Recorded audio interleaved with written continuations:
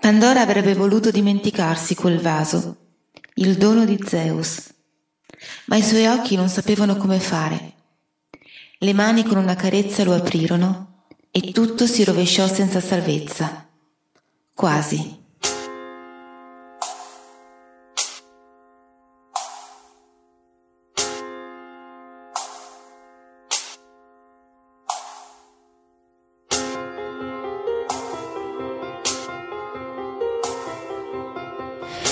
Anche Pandora, le storie del vaso, è rientrata dalle vacanze. Ben ritrovati, Fox. Sono sempre io, Barbara Favaro, e mi auguro che quest'estate sia stata buona con voi, nonostante tutto quel che succede nel mondo. Questo è il nostro terzo appuntamento mensile con le storie del vaso di Pandora e penso sia già un bel risultato. Un'ulteriore prova che il team di Pandora è vincente l'abbiamo però avuta dal vivo durante il reading di debutto del 22 giugno scorso. La piazza di Cisano, un delizioso paesino del nostro lago di Garda, grazie alla biblioteca e al comune di San Felice del Benaco, ci ha con applausi, sorrisi e qualche moto di commozione. Le donne di Pandora con me in questa avventura dal vivo sono state Carmela Bortolotti, Francesca Garioni, Francesca Martinelli, Paola Raggi e Lina Coppola. Carmela e Francesca Martinelli già le conoscete e se non le conoscete potete recuperare le prime due puntate di Pandora e vedrete di cosa sono capaci, mentre per le altre signore che ho citato dovrete aspettare i prossimi mesi. I musicisti che hanno suonato alla nostra lettura sono stati Aligi Colombi alle percussioni, anghe e suoni sparsi e Gustavo Patanciona alla chitarra e voce. Trovate tutto sul blog di Pandora, il link al video della serata e anche le foto che Marco Zanini ci ha scattato durante l'ora di spettacolo. Insomma, se volete capire cosa può fare Pandora alle storie del vaso, allora vi consiglio di dare un'occhiata alle diverse pagine del blog. Credo che ne valga la pena. E credo anche che sia arrivato il momento di dare inizio alla nostra nuova puntata che ha come protagonisti un'attrice, Emanuela Laura Camozzi, un autore, William Saroyan, una storia, un romanzo dal titolo La commedia umana. Io ho conosciuto Emanuela forse un paio d'anni fa, sono stata ad assistere ad un suo spettacolo, Piccolo Vento e le Quattro Stagioni, in un piccolo teatro di Verona, uno spettacolo dedicato ai bambini, è vero, ma erano molti gli adulti in sala e questo la dice lunga. Mi piacque moltissimo la storia, la messa in scena e la performance della protagonista, Emanuela ovviamente. Era veramente leggera e toccante su quel palcoscenico e mi portai a casa una bellissima sensazione che mi durò per giorni. Credo che la mia parte bambina gliene sia ancora grata. Insomma, dopo un paio d'anni mi sono ritrovata davanti a Emanuela per chiedere di far parte di Pandora le storie del vaso, grazie ad una nostra comune amica, Lina Coppola. Emanuela, con quel suo inconfondibile sorriso, una smorfia bambinesca e un abbraccio stretto, mi disse immediatamente di sì. Ci siamo messi alla ricerca di una storia che potesse avvicinarsi alla sua indole, che è sognatrice, sbarazzina e molto tenera, e siamo arrivati insieme ad una conclusione ovvia. E quindi la commedia umana di Saroyan. Ammetto che è uno dei miei romanzi preferiti in assoluto, per molti buoni motivi, ma tra questi c'è sicuramente quel sentimento innocente, tenero, sincero e disarmante che l'autore ha saputo infondere a ogni pagina, ogni episodio, ogni personaggio che anima questa storia. William Saroyan è uno scrittore americano nato nel 1908 a Fresno, di origini armene. Fu soldato semplice nella prima guerra mondiale. Esordì nel 1933 scrivendo per Irenic, un settimanale armeno di Boston, e nel 1939 addirittura rifiutò il premio Pulitzer per il suo pezzo The Time of Your Life. Il successo per lui fu comunque enorme, grazie ai racconti che compongono il suo romanzo The Human Comedy, la commedia umana appunto, del 1943. La commedia umana è ambientata negli anni della seconda guerra, 1942 per la precisione, in un'America che ha ancora un buon carne di umanità sana, onesta, capace di grande generosità, di puri intenti, a cui far fronte quando i tempi si fanno duri. Saroyan ci racconta la vita di un villaggio californiano, Ithaca, e dei suoi abitanti, dell'ufficio del telegrafo, della scuola e della famiglia Macaulay, Marcus, Bess, Homer, Ulysses e la signora Macaulay. Il signor Macaulay è morto da due anni. Marcus, il maggiore dei figli, è stato spedito al fronte per combattere una guerra che non capisce. Bess vuole lasciare l'università e mettersi a lavorare per aiutare la famiglia. Homer ha iniziato a lavorare all'ufficio del telegrafo e sta crescendo in fretta. Ulysses è ancora piccolo, ha solo 4 anni, ma promette di diventare una persona speciale, così come tutti i suoi figli, pensa la signora Macaulay. Ed è così. Questi ragazzi sono davvero il meglio che la società americana ha in serbo per il paese e William Saroyan ci racconta la loro storia. Desideri, difficoltà, piccole gioie, grandi dolori, scelte e speranze di persone normali, persone per bene, che sanno accettare la vita così com'è. A dire il vero, ogni volta che rileggo queste pagine provo lo stesso coinvolgimento della prima volta e ogni volta che arrivo alla fine spero in un finale diverso. Ma ora vi lascio alla voce di Emanuela, che leggerà per voi sette brevi racconti della commedia umana. Siamo sicure che vorrete poi leggere il resto ed è questo che un buon libro può fare, quindi vi auguro con tutto il cuore un buon ascolto. La commedia umana di William Saroyan.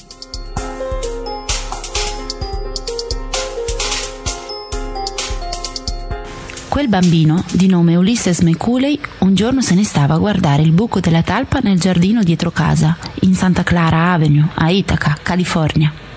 La talpa mucchiava a terra fuori dalla nuova tana e spiava il bambino, un estraneo per lei, anche se non un nemico vero e proprio.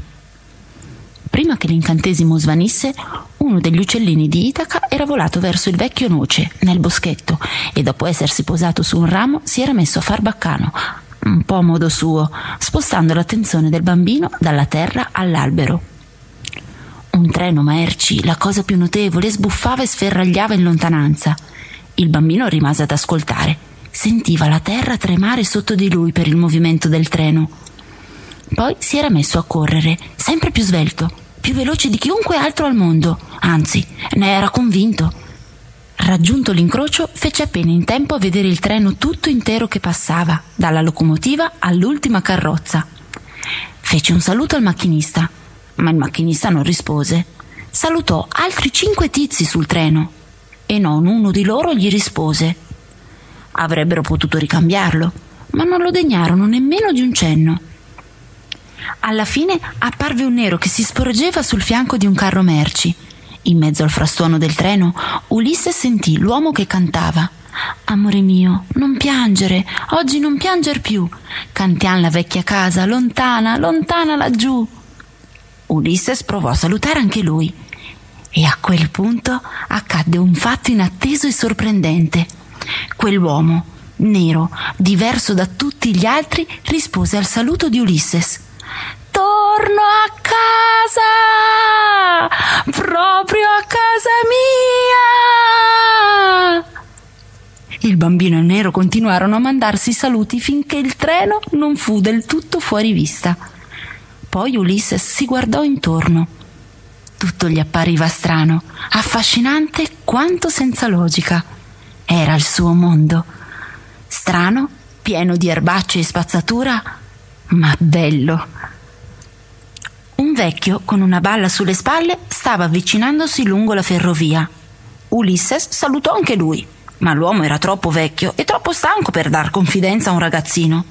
Si limitò a lanciargli un'occhiata, come se tutti e due fossero già morti e sepolti. Il bambino girò lentamente su se stesso e si avviò verso casa.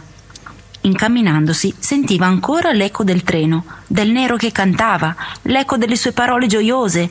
Torno a casa! Proprio a casa mia! Poi smise di riflettere e vicino a un nespolo si mise a prendere a calci frutti marci e giallastri. Fece quel sorriso alla Macaulay, quel sorriso gentile, saggio, un po' enigmatico che diceva buongiorno a tutto quando svoltò l'angolo e vide casa Macaulay, Ulysses cominciò a saltellare battendo i piedi in volo. Questo lo fece inciampare e poi cadere, ma un istante dopo era di nuovo in piedi e si rimise in marcia. Sua madre era in cortile, gettava becchime e polli. Aveva visto il figlio correre, saltellare, inciampare e volare a terra. Lui era arrivato tranquillo e sicuro, buttando un occhio al cesto delle uova di gallina accanto a lei. Si fermò un istante, poi prese un uovo e lo porse a sua madre con cura estrema. Voleva esprimerle qualcosa che un adulto non saprebbe immaginare, né un bambino saprebbe descrivere. Suo fratello Homer sedeva sul sellino di una bicicletta di seconda mano che affrontava grintosamente lo sporco della via di campagna. Homer McCulley indossava una divisa da postino a dir poco gigantesca per lui e un berrettino microscopico. Il sole stava andando giù nella sonnata pace serale, così amata dalla gente di Itaca. Orti, vigneti si stagliavano accanto al nostro bravo messaggero della vecchia terra di California. Anche se procedeva tutta birra, Homer non era lontano dal perdersi la minima sfumatura della bellezza di quella regione.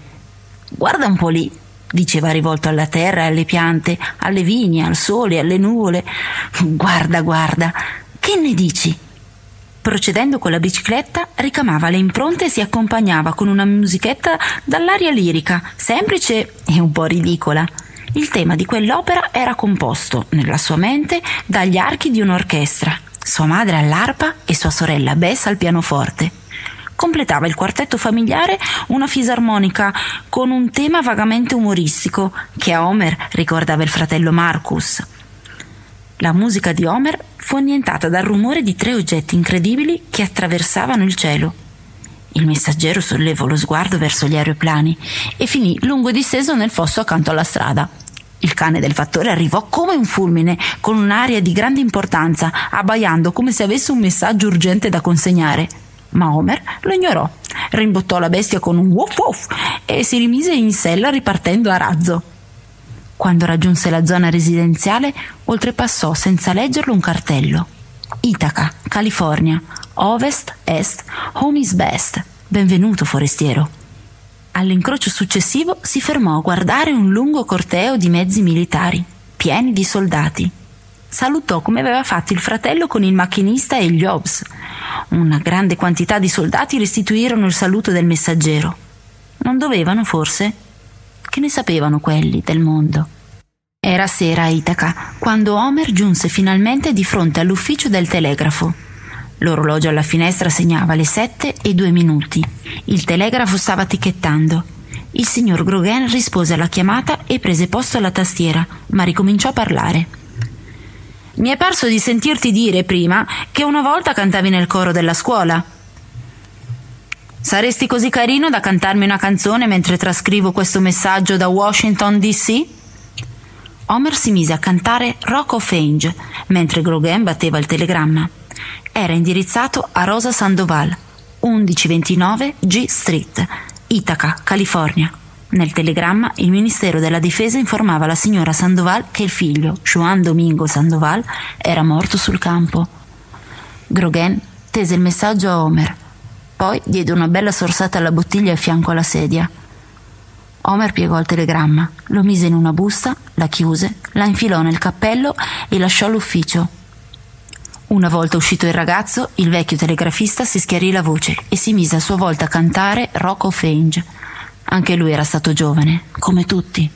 Si sentiva della musica a casa McCulley. Mary Arena entrò nel salotto dalla casa di fianco e si mise vicino a Bess al piano, cominciando ben presto a cantare. Cantava per Marcus, che per lei era il mondo. Il piccolo Ulisse ascoltava e guardava. C'era qualcosa di strano in tutto questo Avrebbe voluto capire esattamente di che si trattava, anche se era mezzo addormentato. Alla fine raccolse abbastanza energie per chiedere Dov'è Marcus? Marcus è con l'esercito, disse la signora McCulley. Quando torna a casa? Quando finisce la guerra? Domani? No, non domani. Quando? Non lo sappiamo. Bisogna aspettare. E allora dov'è il mio papà? chiese Ulysses. Se aspettiamo tornerà pure lui come Marcus, no? No, non è così. Non camminerà lungo la strada per entrare in casa dalla veranda, come un tempo. Era troppo per il bambino e avendo a disposizione una sola parola per chiedere conforto, speranza, la disse. Perché? Due anni fa tuo padre è morto, Ulysses ma finché siamo vivi, finché siamo tutti insieme, finché rimarremo almeno in due e lo ricorderemo, nessuno può portarcelo via. Il ragazzo rimase a pensarci su un po', poi gli venne in mente quel che aveva visto poco prima, quel giorno. Che cosa sono le talpe? chiese. Sua madre non era impreparata a una domanda del genere. Sapeva che aveva degli occhi, occhi curiosissimi e anche un grande coraggio, la capacità di amare e la voglia di capire. Dividono con noi questa terra, hanno vita propria, come noi, sono parte di noi, di tutto quanto vive. Bene, e dov'è Homer? disse Ulysses. Ieri si è trovato un lavoro dopo la scuola. Sarà a casa verso mezzanotte, quando tu dormirai già da tempo. Ulysses si sforzava di stare sveglio, ma proprio non ci riusciva. La signora McCulley spostò lo sguardo verso la sorella del piccolo, Bess. Mettilo a letto. Bess e Mary portarono il bambino in camera sua. Quando se ne furono andate e la signora McCulley si sedette, ebbe l'impressione di sentire il rumore di un passo e si girò. Le parve di vedere Matthew McCulley vicino alla porta, come se avesse ripreso vita in Ulysses e non fosse un adulto morto da così poco tempo, eppure da tanto. Il messaggero smontò dalla bicicletta di fronte alla casa della signora Sandoval. Bussò delicatamente alla porta. Capì quasi subito che c'era qualcuno in casa. Pur non sentendo alcun rumore, avvertiva un movimento verso la porta ed era ansioso di scoprire chi fosse questa persona, questa donna di nome Rosa Sandoval. Non si fece attendere, ma si muoveva con una certa calma, come chi non ha nulla da temere al mondo. Poi si aprì la porta e lei era lì. Homer la trovò bella. Evidentemente la sua vita era fatta di paziente attesa, così ora, dopo anni e anni, le sue labbra erano atteggiate al sorriso. Ma come tutte le persone che non ricevono mai telegrammi, vedeva con sospetto la comparsa di un postino alla porta d'ingresso. Homer si rendeva conto di averla spaventata. Per prima cosa lei disse: Oh, in segno di sorpresa, come se al suo posto si aspettasse di trovare una vecchia conoscenza da accogliere con piacere. Scrutò Homer negli occhi e Homer capì che lei aveva capito che non si trattava di buone notizie. Non era colpa sua, aveva il compito di consegnare telegrammi, eppure era pronto a farsi interamente carico dell'accaduto. Nello stesso tempo avrebbe voluto tirarsi indietro e dire Sono soltanto il portalettere, signora Sandoval. Mi dispiace molto doverle portare un telegramma come questo, ma è il mio compito, il mio lavoro. La signora Rosa Sandoval, G Street 1129? chiese Homer. Porse il telegramma alla messicana, ma lei si ritrasse. È lei la signora Sandoval? Per favore, per favore, vieni dentro si fermò un istante a osservare il ragazzo, che pur essendo entrato in casa restava il più possibile vicino alla porta. Per favore, chiese. Cosa dice il telegramma? Signora Sandoval, dichiarò il messaggero, il telegramma dice. Ora fu la donna a interromperlo. Ma tu devi prima aprire il telegramma e poi leggermelo. Non l'hai aperto. Sì, signora, rispose Homer come davanti a un insegnante che l'avesse appena ripreso. Aprì nervosamente il telegramma. La donna afferrò la busta stropicciata chiedendo Chi ha mandato il telegramma? Mio figlio Juan Domingo? No, signora. Il telegramma viene dal Ministero della Difesa. Ministero della Difesa? Ripeté la messicana. Signora Sandoval, mormorò Homer. Suo figlio è morto. Forse c'è un errore, magari non si tratta di suo figlio, forse qualcun altro. Il telegramma parla di Juan Domingo, però può esserci un errore. Sembrava che la donna non sentisse. Oh, non avere paura, disse. Entra, ti porto dei dolcetti. Prese il ragazzo per il braccio e lo fece sedere al tavolo, al centro della stanza. Tutti i ragazzi amano i dolcetti, Sparì in un'altra stanza e riapparve con una vecchia scatola di cioccolatini. Homer si trovò davanti dei dolcetti dall'aspetto strano. Ecco, disse la donna, mangia questi dolci. Tutti i ragazzi amano i dolci. Homer prese un dolce dalla scatola, lo mise in bocca e tentò di masticare. Non dovresti portarmi cattivi telegrammi.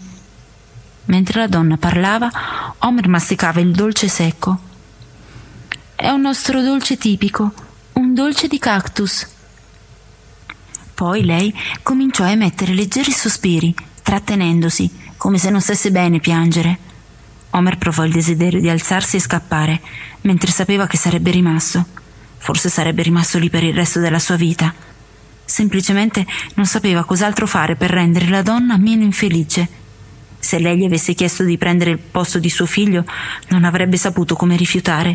Si alzò in piedi, in cerca di un rimedio all'irrimediabile. Capì quanto fossero assurde le sue intenzioni, si sentì più depresso che mai. Dentro di sé non faceva che chiedersi cosa posso fare? Cosa diavolo posso fare io? Non sono che il portalettere. Improvvisamente la donna lo prese tra le braccia dicendo Il mio bambino. Il mio bambino. Senza capire perché, sopraffatto com'era da tutta la vicenda, si sentì male, gli veniva da vomitare. Non era infastidito dalla donna, quello che gli stava succedendo appariva così ingiusto, insensato, che non era neppure sicuro di voler continuare a vivere. Vieni, diceva lei, siediti qui. Lo spinse di forza su un'altra sedia e gli si piazzò di fronte. Lasciati guardare. Lo guardava in modo strano. Il messaggero, completamente sconvolto, non riusciva neppure a muoversi non provava né amore né odio, piuttosto qualcosa di simile al disgusto. Nello stesso tempo sentiva un'enorme compassione, non soltanto per quella povera donna, ma per tutte le cose, per il loro modo atroce di consumarsi e morire. La immaginò nel passato, una bella, giovane donna seduta accanto alla culla del suo bambino. La vide china su quella stupefacente creatura umana, inerme, senza parole e aperta al futuro la vide dondolare la culla e la sentì cantare al suo bambino. Guardala ora, si disse. Di colpo era sulla bicicletta, pedalava energicamente lungo la strada buia con le lacrime agli occhi, imprecando sommessamente. Una volta all'ufficio postale le lacrime erano finite, ma tante altre cose si erano messe in moto e certamente non si sarebbero fermate. Altrimenti tanto varrebbe che fossi morto anch'io! gridò come se si rivolgesse a qualcuno duro d'orecchi. Seduta sulla vecchia sedia a dondolo nella veranda di casa in Santa Clara Avenue, la signora McCulley aspettava il suo figlio che tornasse a casa. Comparve dopo poco mezzanotte. Era stanco e assonnato e al tempo stesso nervoso e inquieto. Sapeva che avrebbe parlato con tono sommesso, come era stato sommesso il tono di suo marito, il padre del ragazzo. Homer si trattenne a lungo nella stanza buia, senza far nulla poi, invece di venire al dunque, disse Va tutto bene. Non voglio che tu stia qui seduta ogni notte. Dopo una pausa ripeté Va tutto bene. Lo so, rispose la madre. Ora siediti. Sprofondò nel tentativo di sedersi su una poltrona rigonfia. La madre sorrise. Allora, disse, lo so che sei stanco, ma si vede che sei anche preoccupato. Cosa c'è? Dopo aver esitato, iniziò a parlare precipitosamente, ma con voce ferma. Ho dovuto consegnare un telegramma a una signora in G Street, disse. Era una donna messicana. Si fermò di colpo e si alzò in piedi. Non so come dirtelo. Il fatto è che. Insomma, il telegramma veniva dal Ministero della Difesa. Suo figlio suo figlio era morto, ma lei non ci voleva credere. Semplicemente non ci voleva credere. Non avevo mai visto una simile reazione. Mi ha offerto un dolce, un dolce di cactus. Si è aggrappata a me dicendo che ero suo figlio. L'aiutasse o no non mi importava. Non mi importava neppure del dolce. Si interruppe di nuovo. Continuava a guardarmi come se fossi suo figlio. Per un attimo non ero più sicuro di non esserlo. Mi sono sentito talmente male. Quando sono tornato in ufficio, il vecchio telegrafista, il signor Grogan, era ubriaco, proprio come aveva previsto. Ho fatto quello che mi aveva detto di fare, spruzzatogli l'acqua in faccia e gli ho portato una tazza di caffè per tenerlo sveglio. Se non lavora come si deve, lo mandano in pensione. E lui non vuole. Gli ho fatto passare la sbornia. Ha fatto il suo lavoro per bene. Poi abbiamo cantato. Gironzolava per la stanza in silenzio. Riprese a parlare in piedi sulla porta distogliendo lo sguardo dalla madre. All'improvviso mi sento diverso, come non mi ero mai sentito prima. Non mi sono sentito così neppure quando è morto papà. Tutto mi è sembrato cambiato in questi due giorni. Mamma, mi sento solo e non capisco perché. La madre taceva, aspettando che lui andasse avanti. Non capisco cosa stia succedendo o perché succede. In ogni caso, non è giusto. Non è giusto che qualcosa possa ferirti così. La donna voleva lasciarlo finire. Visto che lui taceva, cominciò a parlare. Tutto è cambiato per te. In realtà è tutto come prima. Hai sentito la solitudine perché non sei più un bambino. Ma il mondo è sempre stato pieno di questa solitudine se dovesse arrivare a me il messaggio che ho ricevuto la messicana, non so dirti cosa farei. Non lo so. Si fermò e dopo un momento continuò quasi allegramente. Cosa hai mangiato a cena? Torta, disse Homer. Mele e crema al cocco. Ha offerto il capo ufficio, il tipo più forte che abbia mai incontrato. Manderò Bess domani con la cena. Non voglio nessuna cena. Ci piace uscire a comprare qualcosa e sederci insieme a mangiare. Non stare a preoccuparti della cena, rifletté. Questo lavoro è la cosa migliore che mi sia mai capitata. Sembra quasi ridicolo andare a scuola. Certo, disse la signora McCulley. Le scuole servono solo a tenere i ragazzi lontano dalla strada, ma presto o tardi i ragazzi per strada ci devono andare, che lo vogliano o no. È naturale che le madri e i padri si preoccupino per i loro figli. In realtà non c'è nulla da temere. Il mondo è pieno di bambini spaventati che si spaventano a vicenda. Cerca di comprendere, proseguì. Cerca di amare le persone che incontri. Ti aspetterò qui ogni notte, ma non occorre che tu venga a parlare con me se non ne hai voglia. Capirò.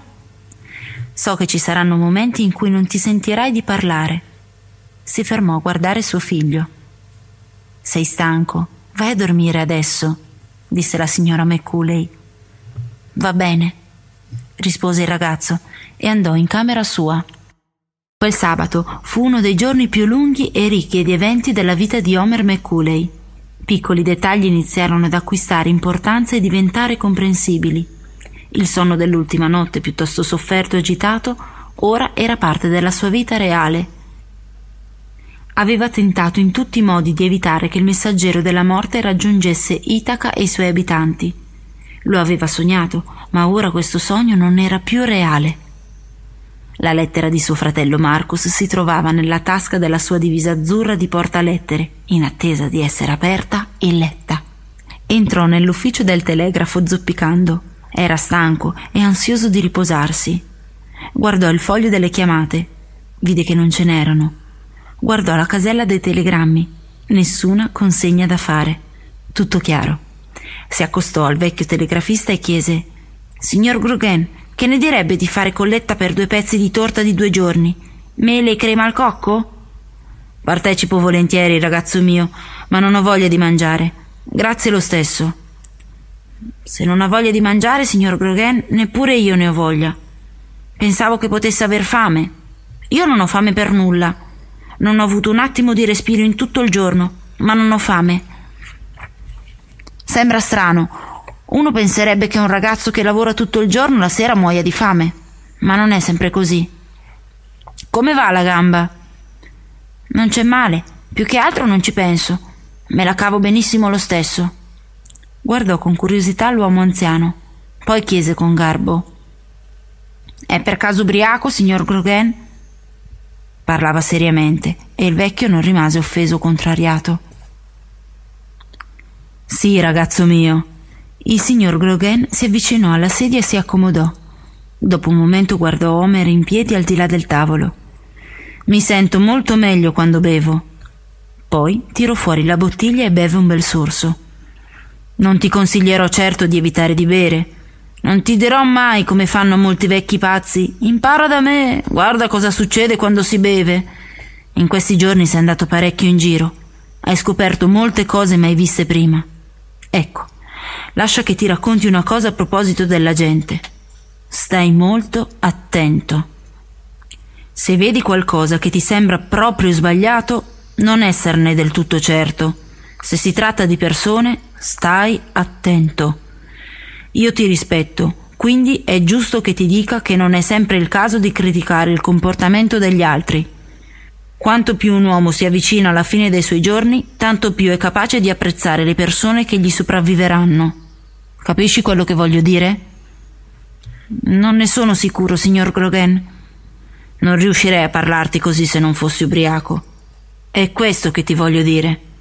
Sii contento di te, sii riconoscente. Cerca di comprendere l'importanza di essere contenti di come si è. Sii contento perché godrai della fiducia di persone del tutto sconosciute. Di nuovo Homer tornò in mente la ragazza dell'hotel, l'urgenza con cui gli aveva parlato come un amico fidato. La gente se ne rende conto. Non li tradirai, non farai nulla contro di loro, non li disprezzerai. Vedrai in loro tutto quel che gli altri non sono stati capaci di vedere. Devi esserne consapevole, senza imbarazzo. Sei un uomo di 14 anni.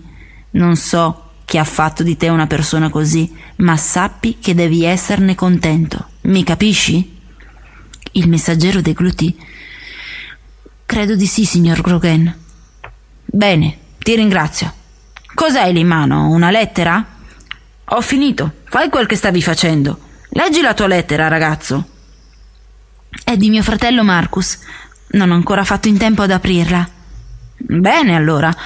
Leggi la lettera di tuo fratello. Leggila ad alta voce. Ad alta voce? Sì, mi farebbe piacere sentirla, se posso. Molto. Homer aprì la busta, estrasse la lettera, la dispiegò e iniziò a leggerla parlando molto lentamente. Caro Homer, intanto tutto quel che c'è di mio a casa è tuo, da dare a Ulisses quando sarai stufo. I miei libri, il mio grammofono, i miei dischi, i miei vestiti non appena ti andranno bene, la mia bicicletta, il mio microscopio, la mia canna da pesca, la mia collezione di pietre e di piedra e ogni altra mia cosa. Ti appartengono, perché in casa Meiculei ora sei tu l'uomo. I soldi guadagnati l'anno scorso nello scatolificio li ho consegnati a mamma, si capisce, per dare una mano. Ma non è affatto sufficiente. Non so come farai a tirare avanti la famiglia e andare al liceo, ma sono certo che troverai un modo. La paga che mi danno qui nell'esercito va a mamma, a eccezione di qualche dollaro che tengo per me, ma anche questi soldi non bastano di sicuro. Non è facile per me chiederti così tanto quando io stesso ho cominciato a lavorare solo a 19 anni, ma credo che in qualche modo sarà in grado di fare quel che io non ho fatto. Mi manchi tanto. Ti penso sempre. Sto bene, e anche se non ho mai creduto nelle guerre, so bene quanto siano folli anche quando sono necessarie. Sono orgoglioso di esservi coinvolto, dal momento che in tanti altri lo sono, e questo è quel che sta accadendo. Non riesco ad accettare l'idea che esistano dei nemici, perché nessun essere umano può essermi nemico. Un essere umano, chiunque sia, lo considero amico. Il mio conflitto non è con lui, ma con quella parte sfortunata di lui che prima di tutto sono costretto a distruggere in me stesso. Non mi sento certo un eroe, non sono fatto per simili sentimenti. Non odio nessuno e neppure provo spirito patriottico, anche se ho sempre amato la mia terra, la sua gente, le sue città, la mia casa e la mia famiglia. Preferirei non fare parte dell'esercito. Preferirei non ci fosse più la guerra. Non ho idea di cosa sarà, ma comunque vada sono rassegnato a ciò che deve accadere e sono pronto. Sono molto spaventato, questo te lo devo dire ma credo di dover fare quel che è giusto quando è il momento. Non devo far altro che obbedire alla mia coscienza. Con me ci saranno giovani di ogni parte dell'America, da migliaia di città come Itaca. Potrebbero uccidermi, certo. Lo sappiamo tutti. È un'idea che non mi piace per niente. Più di ogni altra cosa al mondo vorrei ritornare a Itaca. Voglio ritornare per Mary, per avere una mia casa, una mia famiglia Partiremo presto. Andremo in prima linea, anche se nessuno sa dove. Quindi questa potrebbe essere la mia ultima lettera per qualche tempo. Spero che non sia l'ultima in assoluto, ma se fosse così, dobbiamo restare uniti. Ho raccontato al mio amico Tobey George di Itaca e della nostra famiglia. Spero di portarcelo un giorno. Sono fiero di essere il Mecculei che rappresenta la nostra famiglia in questa guerra. E sarebbe un peccato, sarebbe sbagliato se toccasse a te. In una lettera posso dire cose che non direi mai a voce. Sei il migliore dei Mecculei. Niente deve fermarti. Ora scriverò il tuo nome qui per ricordartelo. Homer McCulley. Sei tu. Mi manchi. Non vedo l'ora di rivederti. Che Dio ti benedica. È tutto. Tuo fratello Marcus. Leggendo questa lettera il messaggero si sedette. Leggeva molto lentamente, provando spesso un forte malessere, come in casa di quella mamma messicana. Si alzò. Le mani gli tremavano. Si morse le labbra e guardò l'anziano telegrafista. Parlava con dolcezza. Se mio fratello rimarrà ucciso in questa stupida guerra, sputerò su questo mondo. Odierò il mondo e per sempre. Delle lacrime apparvero sul suo volto. Si affrettò verso l'attaccapanni, accanto alla stazione radio, e si tolse l'uniforme, rimanendo con i suoi vestiti normali. Uscì di corsa dall'ufficio che non si li era neanche ben sistemati. L'anziano telegrafista rimase a lungo a riflettere. C'era una grande pace quando si scosse. Finì il resto della bottiglia, si alzò e si guardò attorno.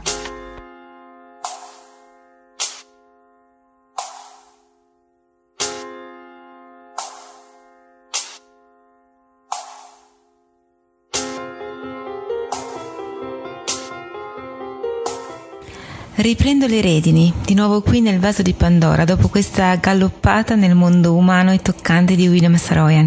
Bello, vero? È la forza di personaggi che vorresti avere accanto, che vorresti rendere reali e concreti per sentirti soltanto un po' più sicuro, un po' più al sicuro. Non posso che aggiungere grazie, Mr. Saroyan, ovunque tu sia, e grazie a Emanuela Laura Camozzi che ci ha fatto attraversare queste pagine con leggerezza e intensità. Emanuela che ha una grande passione per il Brasile e che ha scelto di vivere in quella splendida terra per i prossimi tempi. A noi che restiamo qui sicuramente ci mancherà lei e le sue ali da farfalla, ma sappiamo che sarà felice, quindi anche noi lo siamo per lei. Buona fortuna Emma. Bene, vi ricordo l'indirizzo del nostro blog pandoralestoriedelvaso.wordpress.com e vi invito a farci un giro di tanto in tanto per scoprire le novità che abbiamo in serbo per voi. Se volete lasciare dei commenti sarà per noi un piacere leggervi e rispondervi in presa diretta. Un ringraziamento speciale a Simone Pizzi per l'editing e a IPN Italian Podcast Network per l'ospitalità. Grazie a Emanuela Laura Camozzi per essere stata parte di Pandora le Storie del Vaso. Grazie a voi che vi siete fermati tornati nel vaso con noi. Spero che questa terza puntata vi sia piaciuta. L'appuntamento di sabato 15 settembre 2012 riguarda il terzo e il PIS non è una storia. Invece la quarta puntata di Pandora le storie del vaso vi aspetta online il primo sabato di ottobre, ovvero il 6 ottobre 2012. A presto Fox, buone cose a voi.